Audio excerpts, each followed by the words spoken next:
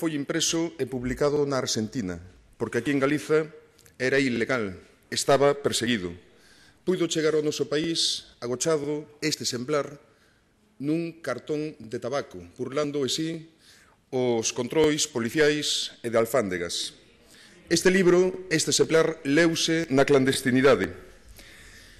Anos despois chegou a min apenas sendo un rapaz e desde logo teño moito que lle agradecer confeso que me abriu os ollos, que contribuiu a abrirme os ollos. E desde aquela, pois, está comigo, é o meu mellor tesouro, e teño que confesar que tomei posesión como deputado nacionalista desta Cámara, poñendo, sostendo este mesmo libro coa miña, coa miña man.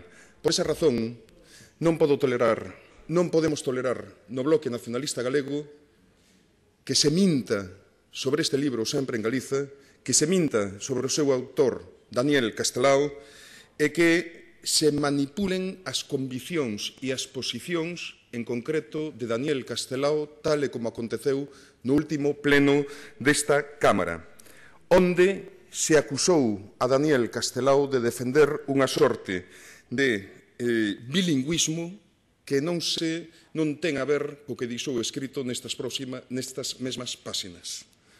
Dixo Castelao, Debusei sempre en galego, escrevín sempre en galego, e se tirades o que hai de galego e de humano na miña obra, non ficaría nada dela.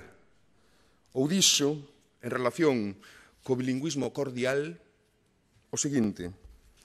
Seríamos parvos se non reaccionáramos contra os finxidos partidarios da cordialidade lingüística, cando supeditan esta cordialidade a un sometimento do galego, Nós non podemos esquecer que dende a escola, a cátedra, o púlpito, a tribuna, o tribunal, a oficiña e o cuartel, o dedo erguido do Estado español impón silenzo aos que intentan falar galego. Que non se impón o castelán. Eu vin a un presidente de audiencia proibirlle a un abogado que interrogase un labrego en galego, fundándose en que o labrego tiña que entender o castelán. Daniel Castelao, señor Bahamonde, Esperemos que no futuro teñan algo máis de respeto pola figura deste insigne patriota galego. E máis de 75 anos após descritas estas palabras, comprobamos como precisamente no caso da Xustiza pois francamente non evoluiu tanto a cousa, eh? Un, como esta especie de eh, fósiles prehistóricos que non, que non evolúen, non dan evoluído, é eh? como os tabeiróns. E nisto non me refiro aos eh, vinculados ao mundo da banca e da especulación, senón aos simpáticos escualos que de vez en cando visitan o noso propio litoral. Máis de 75 anos após descritas estas palabras, teño tamén un outro libro. Un outro exemplar. Non é un libro perigoso nin secesionista. Este libro non reivindica nin a soberanía nin a autodeterminación para Galiza. Mas é un libro ilegal é ilegal para o goberno do Partido Popular. Este libro que de primeiro de ESO, de matemáticas, que inclúe cuestións tan perigosas como, por exemplo, potencias e raíces, divisibilidade, números enteiros, rectas e ángulos, eh, álxebra, etc. Este libro é ilegal. Temos en Galiza un goberno do Partido Popular que proíbe que neste país se poida ensinar matemáticas e outras asignaturas, neste caso matemáticas, no idioma propio desta terra. Temos un goberno que proíbe que se poidan aprender matemáticas, que os nenos e nenas poidan aprender matemáticas no idioma propio desta terra. Temos un goberno que proíbe que este libro ou calquer tipo de material didáctico en galego se poidan aprender nas escolas, nas aulas da nosa propia terra. Temos un goberno do Partido Popular que permite que, por exemplo, nas seccións bilingües si se poidan dar aulas de matemáticas ou mathematics en inglés en inglés ou en español. En galego está prohibido. Temos un goberno do Partido Popular que permite que en Galiza, fíxense vostés, ademais das matemáticas, da física, da química, da tecnoloxía ou informática, que está prohibido en galego, pois se pode chegar ao caso de que se poidan impartir en inglés, e de feito así se fai nas seccións bilingües, mas non en galego. En este povo sufrido e castigado, onde se impide lamentablemente ainda a altura do século XXI, que nenos e nenas desta terra poidan acceder a unha formación en galego no idioma propio inda día de hoxe, maioritario da sociedade galega, temos un goberno do Partido Popular que fai caso omiso do que pactou co PP e co PSOE no Plan Xeral de Normalización da Lingua Galega que dixo que as matemáticas terían que se impartir en lingua galega as matemáticas, especificamente, en outros casos, por exemplo, no bacharelato, a tecnoloxía tamén xunto coas matemáticas. Neste país non se poden impartir tecnoloxía, si se pode impartir tecnoloxía ou technology. Tecnoloxía non, está prohibido por este goberno galeguista do Partido, do partido Popular. A nosa moción é moi modesta. Nos Pretendemos desde o Bloque Nacionalista Galego que esta e outras cousas non volvan pasar, que non se persigan libros ou asignaturas por estaren en galego nas aulas da nosa propia terra. Pretendemos algo tan modesto, probablemente tan revolucionario a, este, a estas alturas da historia da humanidade, como que o goberno do Partido Popular cumpra a lei e o plano xeral de normalización da lingua galega, nin máis nin menos, reproducimos literalmente os apartados do Plano Xeral de Normalización da Lingua Galega no seu día pactados polo Partido Popular tamén na moción que hoxe se debate e que hoxe se vai votar. Nos, desde logo, non queremos darlle leccións a ninguén de nada. Non queremos expedir carnés nin de galeguidade nin de nada. Alá cada quen coas súas frustracións e cos seus complexos. Nos o único que queremos é poder vivir libremente na nosa terra utilizando o noso propio idioma en calquera lugar e circunstancia. Noutras palabras, pretendemos con esta moción que lle levanten dunha vez por todas o veto á lingua galega. O galego é un idioma, non é un dialecto, é un idioma e ten carácter de oficialidade en Galiza. Daquela, se é un idioma, temos dereito a poder falar, a poder expresarnos, a poder ouvir, a poder ensinar, a poder aprender, a poder querer en galego. Temos dereito a nos sentir orgullosos e orgullosas do que somos e de onde vimos. Ciadáns, ciadás libres nun país que ten un idioma de seu propio, non importado, o idioma, a lingua galega. E nós estamos convencidos de que non hai decreto do goberno do Partido Popular que poida tumbar a forza e o dereito do povo galego a utilizar a súa propia lingua. Vostés, desde o Partido Popular ou este goberno do Partido Popular, efectivamente poden ter a forza dos decretos. Nós temos a forza da razón, da xustiza histórica, da liberdade, sí, da liberdade. Temos a forza do eco dunha manifestación multitudinaria que ateugou o 17 de maio as rúas de Santiago de Compostela e que, por certo, o propio Partido Popular fixo o posible para impedir. Si esa manifestación puido ter lugar é porque se lle tumbou nos tribunais a pretensión do Partido Popular de evitar que esa manifestación pudera rematar na Praza da Quintana. Así xogo o PP e o galeguismo do PP intentar evitar que o 17 de maio pudera haber en Galiza unha, unha manifestación e reivindicación da lingua galega. Mais, con todo, imos gañando batallas, imos gañando batallas, mal que lle peso o Partido Popular. Por poñer un exemplo, o valedor do povo, derrotámolo. Sí, derrotamos o valedor do povo. A manifestación do 17 de maio fixémola mal que lle pesara ao Partido Popular malia que intentara eliminar o dereito á liberdade de expresión e o dereito de manifestación inherente a calquera sociedade que se denomine democrática. E hoxe, señoras e señores do PP, teñen unha oportunidade, a oportunidade de votar favorablemente unha moción Vaya do BNG. Por favor.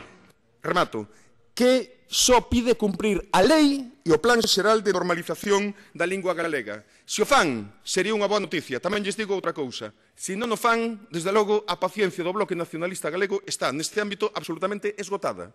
Se non o fan, nós non nos sentimos vinculados con ningún tipo de pacto, acordo ou interlocución co Partido Popular en materia de política lingüística, con ningún con ningún, mais é responsabilidade do Partido Popular a ruptura dese, dese pacto. Porque, en relación co plan xeral de normalización, de que raios serve asinar nada con vostés se logo non teñen palabra? Non se pode confiar en vostés. Dixeron vostés no seu pacto que, por exemplo, as matemáticas se podrían impartir en galego. E vostedes vulneraron ese plan e sacaron un decreto declarando ilegal, ilegais as aulas de matemáticas en lingua galega. Así que aquí teñen a moción está na súa man, aí fica coa súa responsabilidade. Mais nada, señor presidente, obrigado. Gracias, señor Lobeira. Autor da emenda, Grupo Parlamentario Popular, señor Bamonde.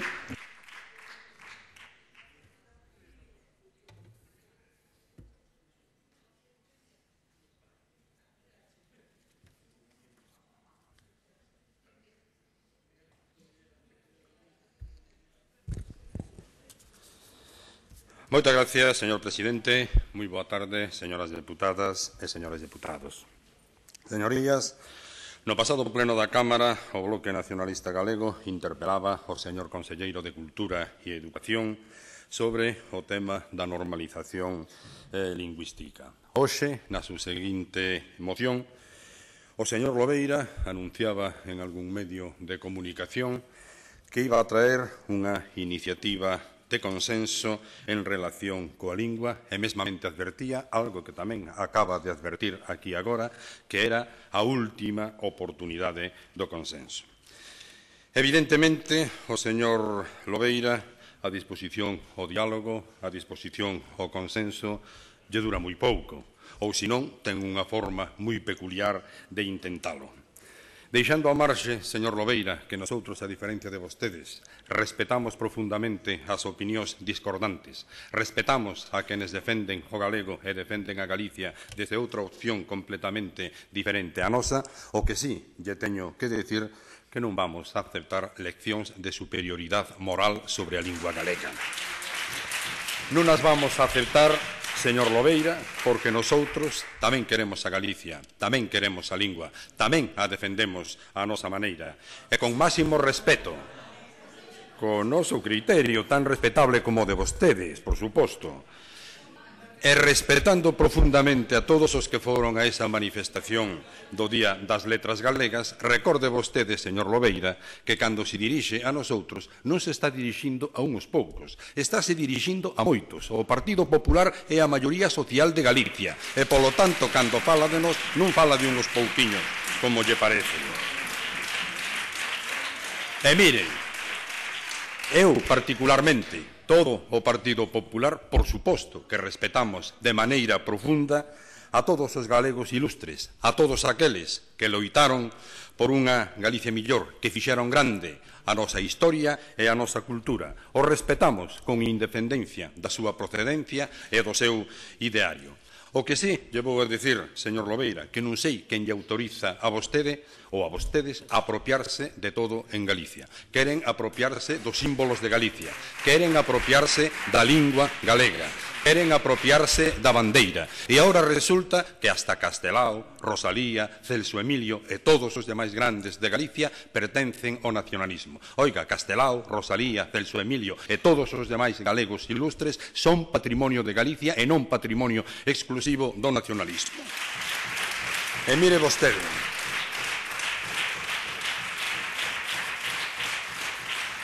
Eu non quero entrar en disputas sobre Castelao.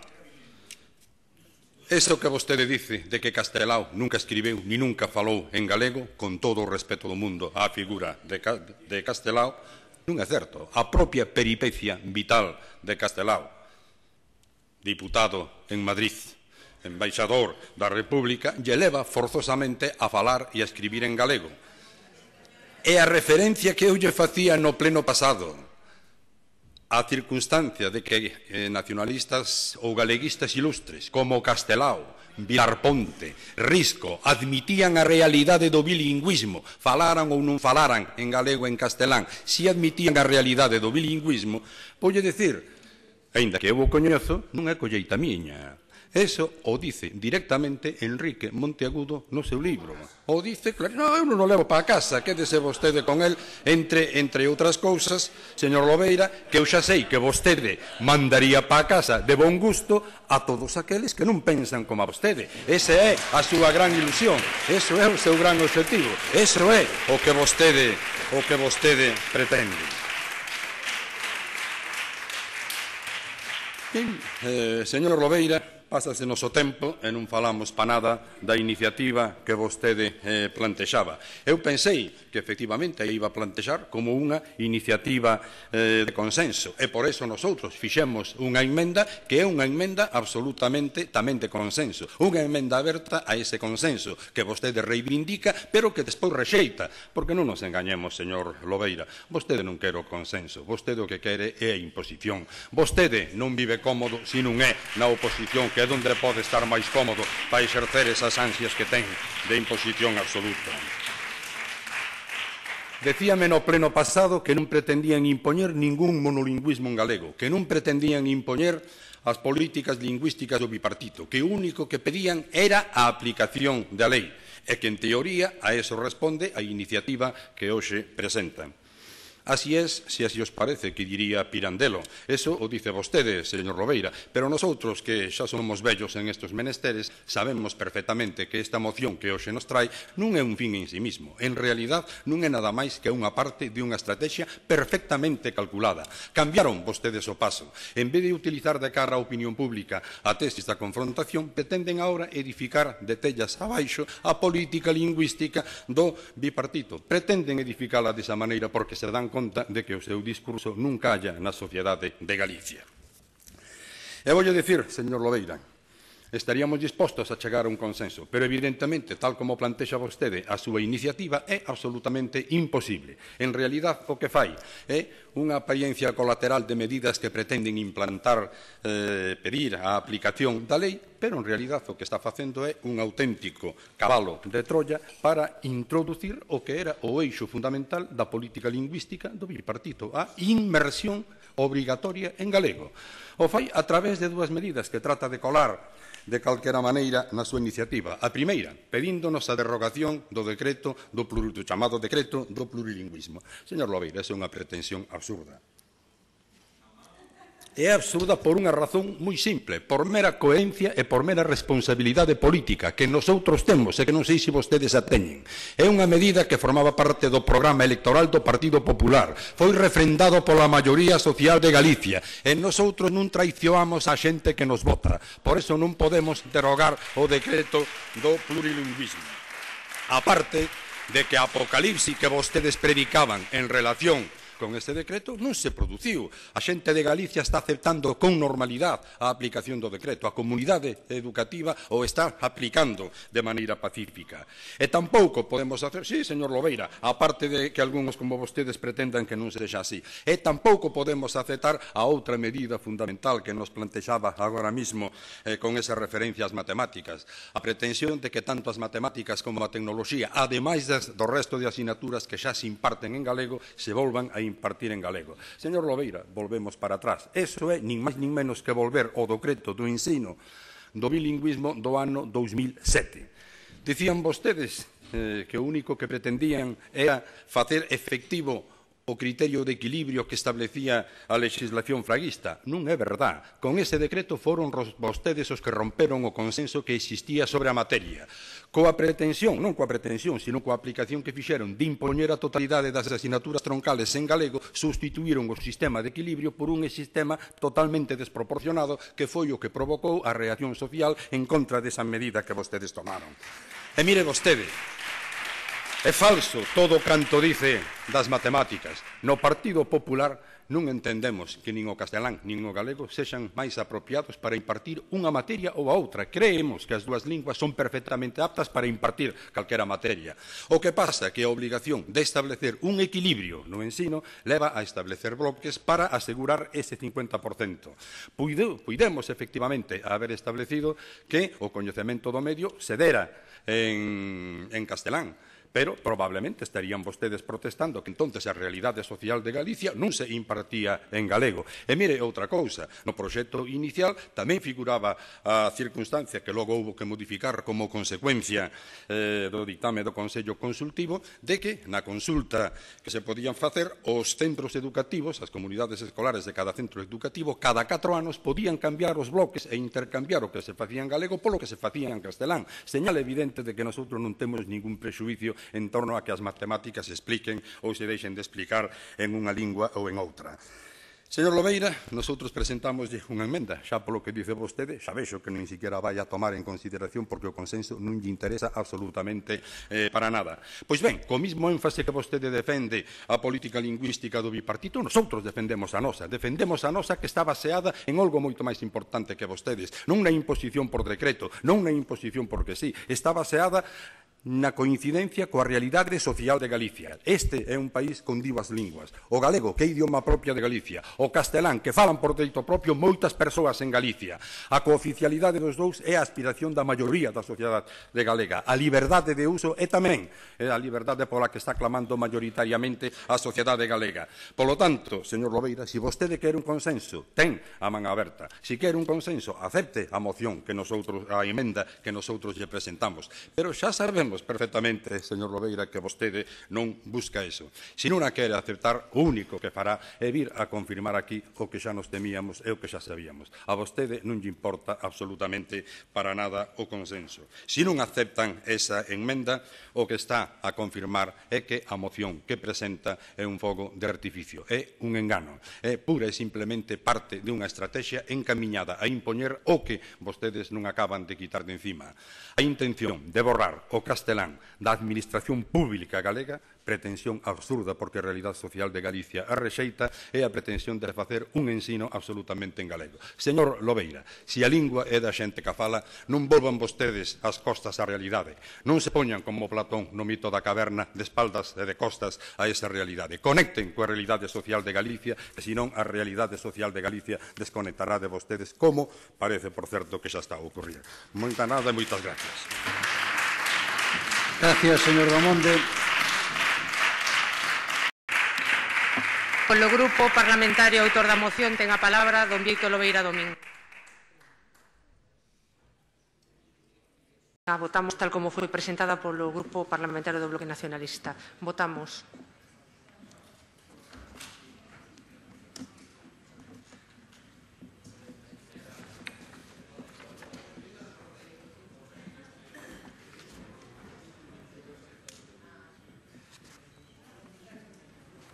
Presentes na Cámara 71, votos afirmativos 35, votos en contra 36, queda rexeitada esta moción. Continuamos co orde do día, co punto 5, que é o do proposicións non de lei ante o Pleno, comenzando pola proposición do Grupo Parlamentario Popular de Galicia por iniciativa do señor Santalices Vieira sobre a realización dun estudo que permita valorar a conveniencia de que determinadas residencias de persoas maiores dependan no referido a súa prestación farmacéutica das farmacias hospitalarias da zona. A esta proposición non de lei presentarose enmendas do Grupo Socialista e do Grupo do Bloque Nacionalista Galego. Para formular a proposición non de lei ten a palabra o señor Santalices Vieira. Grazas, señora presidenta.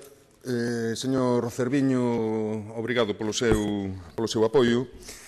Eh, señor Obamonde, utilice a literatura que queira. Digo que queira. Agora, despréndese da súa enmenda que as matemáticas se van poder impartir en galego tal e como dicía explícita e literalmente o Plan Xeral de Normalización da Lingua Galega apoiado polo PP en tempos de Fraga, sí ou non? Non, non. Porque non é certo, señoras e señores do Partido Popular, o que acaba de transmitir o seu vaceiro en materia de lingua, señor Bamonde, non é certo. A moción, se teñen a amabilidade de lela, presentada polo Bloque Nacionalista Galego, non é certo que fale de monolingüismo, non. Nin é sequer un programa político do Bloque Nacionalista Galego, non é certo. Transcribe literalmente a lei e o Plano Xeral de Normalización da Lingua Galega, literalmente. Por que presenta o Partido Popular esa enmenda? Obviamente, porque non lles vale a nosa moción. Ergo, non lles vale o que transcribe literalmente, isto é, o Plan Xeral de Normalización da Lingua Galega. O que apoiou o Partido Popular no seu día, agora non lle vale. Por iso non o aceita. E miren vostés, miren vostés, señoras, señores deputados, que argumentación para fundamentar esa posición política de crevar o acordo do Plan Xeral de Normalización da Lingua Galega. Di a enmenda do Partido Popular. Insto o Goberno galego a establecer as estrategias, iniciativas e programas máis aceitados para as características da sociedade galega. Preguntaríame eu, cales son esas características específicas da sociedade galega que impiden que se poidan impartir, por exemplo, matemáticas en galego. É que acaso os nenos e nenas deste país teñen taras físicas ou mentais que lle impiden aprender matemáticas en galego? Cales son esas características especiais?